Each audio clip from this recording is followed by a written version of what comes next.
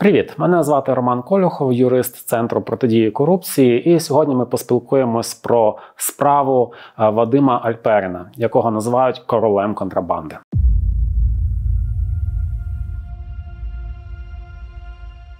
Е, Вадима Альперіна змі охрестили королем контрабанди, тому що е, за тією версією, яка висувається слідством, і загалом з повідомлень у змі відомо, що він це та особа, яка кришує контрабанду щонайменше в Одеській області, і його статки за оцінками змі оцінюються приблизно в 1 мільярд доларів. Тобто, це досить впливова особа у цій царині, і власне. Справа Вадима Альперина пов'язана з е, такою досить масштабною контрабандою на митниці. Як е, вбачається з матеріалів е, справи, йдеться про контрабанду значної кількості товарів з Китаю. Це переважно одяг, суття, текстильні вироби але об'єми досить великі і з тих з цієї інформації, яка наразі доступна вже в змі, можна зробити висновок про те, що це великі масштаби. Тож недарма ця справа опинилася саме в підслідності набу, і надалі е, вона розглядається у ВАКС. А Вадим Альперін настільки відома особистість, що навіть проти нього введені санкції. а Також президент Володимир Зеленський позбавив його громадянства України. Тож нині це не громадянин України, як відомо відомо, в нього є паспорт громадянина Ізраїлю. Ось, але він перебуває наразі е, на лаві підсудних у вищому антикорупційному суді України. Досудове розслідування у справі розпочалося ще в 2017 році. В 2019 листопаді 2019 року Вадиму Альперину вручили е, підозру. ВАКС е, справа розглядається з 2022 року однак вона перебувала на е, початковій лише стадії, тобто тривало підготовче судове засідання. Весь час е, потім, як відомо, перша інстанція закрила е, цю справу, використавши правки лозового досить сумнівно. Е, це рішення наразі скасоване апеляційною палатою ВАКС, і справа е, повернута на повторний розгляд, тож буде розглядатися спочатку. Отже, цю справу е, неодноразово намагалися закрити різноманітними способами. Були випадки, коли суддя, головуючий суддя, заявив про те, що на адресу колегії суддів надходили погрози.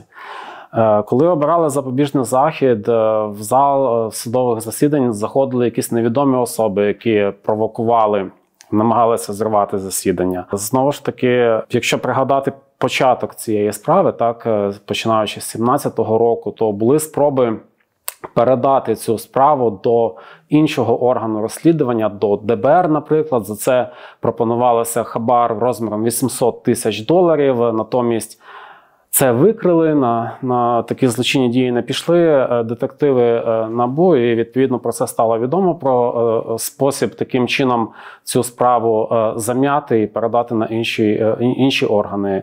Також були, були намагання передати цю справу на поліцію, і власне швидше за все фігуранти цієї справи розраховували на те, що якщо справою буде займатися поліція, то там, використовуючи ті важелі впливу, які має Вадим Альперін, можна буде простіше домовитися, порішати, закрити цю справу. Однак це також не вдалося. Справа залишилась в набу. Вона е, дійшла до свого логічного завершення на стадії досудового розслідування. І сподіваємось, що найближчим часом дійде до такого ж логічного завершення вже і на судовій стадії, і рано чи пізно закінчиться е, вироком. Звичайно, що такі об'єми контрабанди, які приносять великі статки, не можна організувати самостійно. Тобто, Вадим Альперін він єдиний обвинувачений у цій справі. Там є цілий ряд обвинувачених, в тому числі е, посадовці митниці. Тому е, очевидно, і це вбачається з тих матеріалів, які вже доступні, публічно опубліковані. Вадим Альперин обвинувачується у створенні керівництві злочинною організацією, до складу якої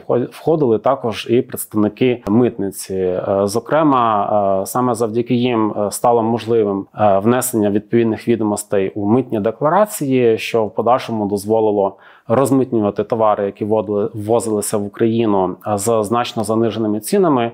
Пізніше, після того, коли працівники митниці ці декларації заповнювали, виправляли е, фірми одноденки з орбіти Вадима Альперіна, могли мали можливість отримати певні відшкодування відповідно.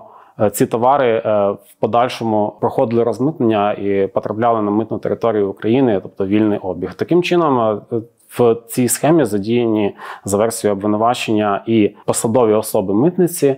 Е, тому, звичайно, що ми можемо сказати, що це не тільки справа безпосередньо е, так званого бізнесмена, так як також його змі називають, але і справа, яка безпосередньо пов'язана з протиправними діями на митниці на рівні щонайменше керівників.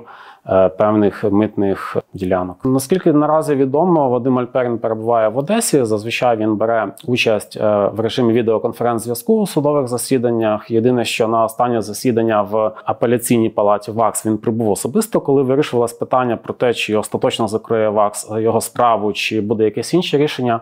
Він був присутній у залі судових засідань, тобто можна сказати, що він дотримується процесуальних обов'язків. Загалом справа рухається не дуже добре, тому що було багато багато спроб її закрити різноманітними, різноманітними способами. І ось власне.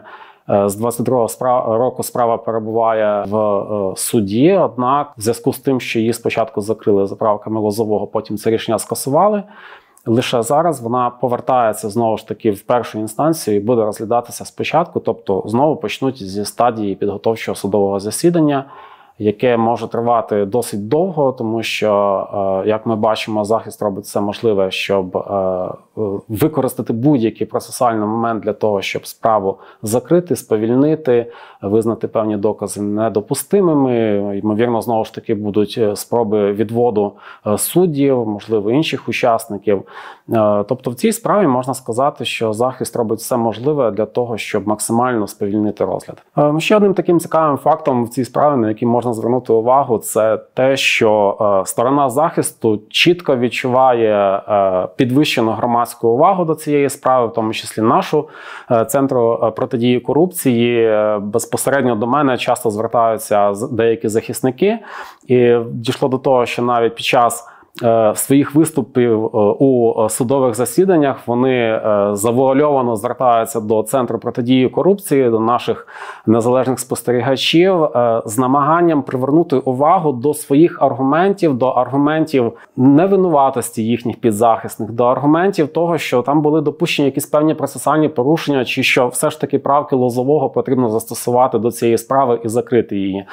Це лише говорить про те, що громадський контроль діє що ми недаремно ходимо на ці судові засідання, відвідуємо їх, тому що якщо на це е, рефлексує так сторона захисту, це означає, що е, все ж таки вони розуміють, що і е, рівень громадянської уваги до цього кейсу досить високий, і вони намагаються переконати у невинуватості своїх підзахисних не лише суд, як то в принципі і передбачено е, КПК, а вони намагаються переконати саму громадськість, тому що вже і змі, і громадський сектор в принципі сформували е, певний образ і Вадима Альперіна, і загалом е, певне ставлення до цього кейсу у громадянському суспільстві.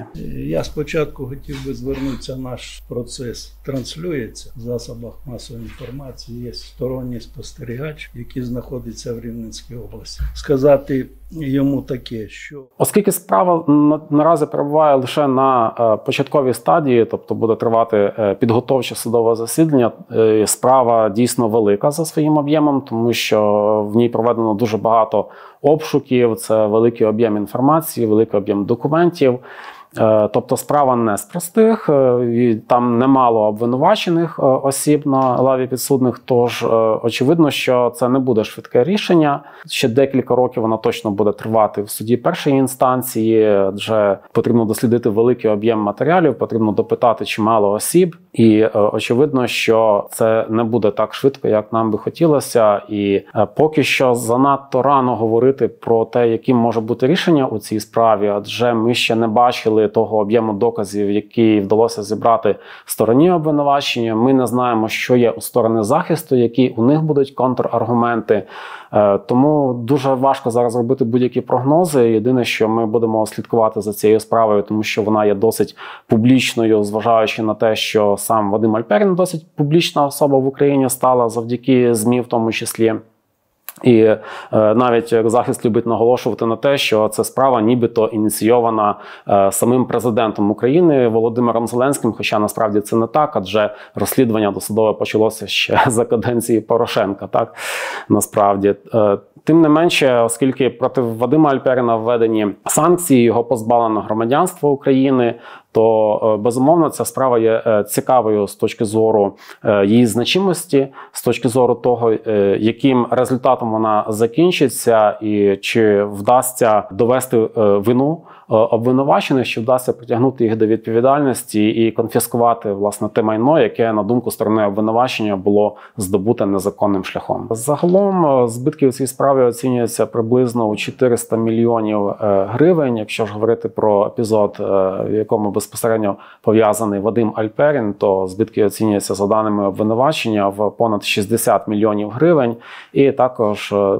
близько 400 мільйонів гривень це вже е, сума арештованих активів у цій справі.